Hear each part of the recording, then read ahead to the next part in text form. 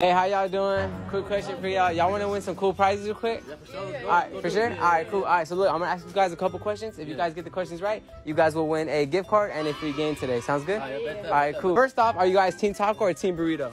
I'm taco. Taco. Burritos. Burrito. Okay, why Team Taco? Toppings, Toppings? meat, and everything. Okay, okay. What about you? Why why you burrito over taco? My mama, man. Okay, okay. Start with the mama at home. All right, all right. First question. Ready?